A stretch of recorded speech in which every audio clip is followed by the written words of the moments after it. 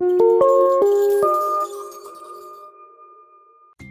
my dear friends. I am Ruffy. Today we will meet the true army of heroes inside our body. This army is called the immune system. It always stays alert and protects us from harmful germs, viruses, and bacteria. Wow! Imagine a tiny, invisible enemy, germs, trying to enter our body. But don't worry, our immune system immediately gets ready for battle. The first line of defense is our skin and mucous membranes. The skin blocks germs from entering, while the mucus in our nose and throat traps them. It's just like the strong walls of a castle. But what if some germs manage to get inside? Then the white blood cells come to action.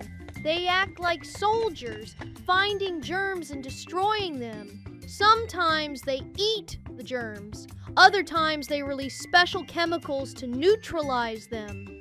The immune system has another secret weapon antibodies. They recognize germs, mark them, and make it easier for other cells to attack. Just like a police officer catching a criminal. And the best part? The immune system can remember germs. If the same germ tries to come back, the immune system fights it faster and stronger. That's why many illnesses don't come back a second time. Did you know? Your body has trillions of immune cells. Even while you are sleeping, they stay awake to protect you.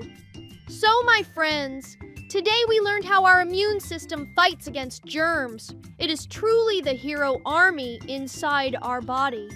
And who knows, maybe one day you will become scientists who discover even more secrets of the immune system. See you in the next scientific adventure with Ruffy.